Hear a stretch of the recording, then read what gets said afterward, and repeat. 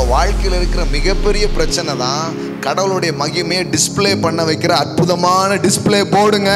எல்லாம் சொல்லுங்க என்னுடைய பிரச்சனைகள் அவருடைய மகிமை வெளியரங்கமாகக்கூடிய ஒரு இடமாக இருக்கிறது.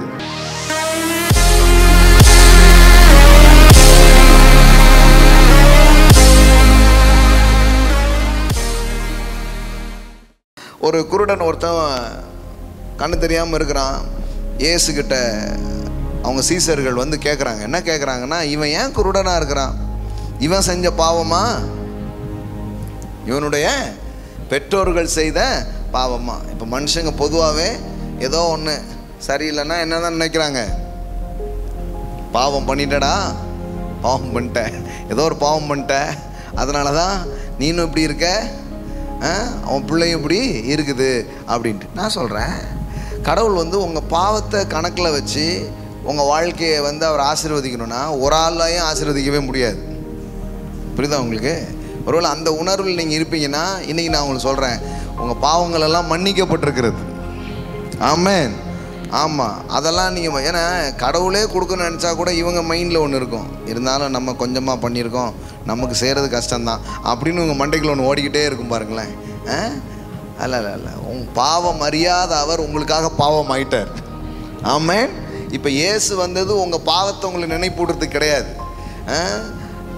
ஆமாம் இந்த பாவத்தை பிடுங்கி தூக்கி தூர போட்டுட்டு இந்த பாவத்தினால் வந்த விளைவிலிருந்து உங்களை விடுதலையாக்கி உங்கள் வாழ்க்கையை மகிமையினால் நிரப்புறதுக்கு அவர் வந்திருக்கிறார்.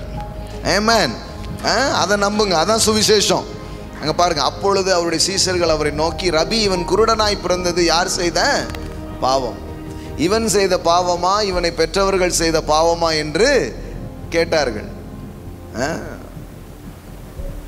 இவங்க பெற்றவங்க செஞ்சதான்னு கேட்டால் கூட ஒரு நியாயமான கே ஒரு லாஜிக் இருக்குது இவன் செய்த பாவமானா அதில் எந்த லாஜிக்குமே இல்லை. ஏன்னா இவன் செய்த பாவத்தால் இவன் குருடனாக பிறந்திருக்கானா? இப்போ எனக்கு முந்தின ஜென்மன்னு ஒன்றில் பண்ணானா? இல்லை வயிற்றுக்குள்ளேருந்து ஏதாவது பா ஒன்றுமே கிடையாது பாருங்களேன். ஆனால் இயேசு வந்து அந்த கேள்விக்கு அவர் பதில் சொல்லாமல் அவர் என்ன சொல்கிறாரு பாருங்க. இயேசு பிரதித்திரமாக இது இவன் செய்த பாவமும் அல்ல இவனை பெற்றவர்கள் செய்த பாவமும் அல்ல. தேவனுடைய கிரியைகள் இவனிடத்தில் வெளிப்படும் பொருட்டு இப்படி பிறந்தான். ஆமன். இவன் அதாவது நீ எப்படி வந்தது ஏன் வந்ததுங்கிறதெல்லாம் விடு இப்போ கடவுளுடைய செயல் இவன் வாழ்க்கையில் வெளிப்பட போகிறது. ஆமென். நம்ம ஊரில் பாருங்கள் ஏன் வந்தது? இவங்க பண்ணது அவங்க இவ்வளோ சொல்லிடுவாங்களே தவிர குணமாக்க மாட்டாங்க யாரையும். ஏசு வந்து அந்த மாதிரியான விஷயம்லாம் பண்ணல. அவர் நேரடியாக டீல் பண்ணுறார் ஏன் வந்தது? எதுக்கு வந்தது? அது வந்தது?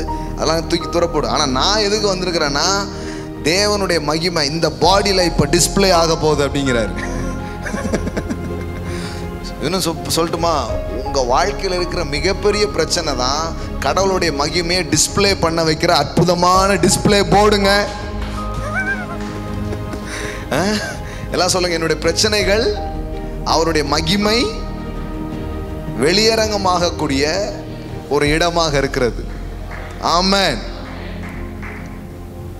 உங்க ப்ராப்ளம் தான் கடவுள் வேலை செய்யறதுக்கான டிஸ்ப்ளே போர்டு ஆண்டவர் வந்து அதில் வேலை செய்ய முடியுங்கிறார். இவன் குருடனாக இருக்கிறான்.